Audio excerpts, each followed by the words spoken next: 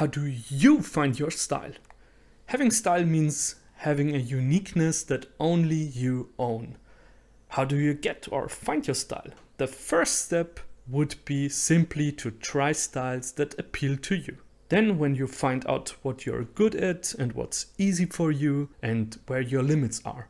And then you're basically fighting your limits with simplifying and canceling them out by amplifying your strengths. This will lead to a unique way of reaching your goals with your art and such.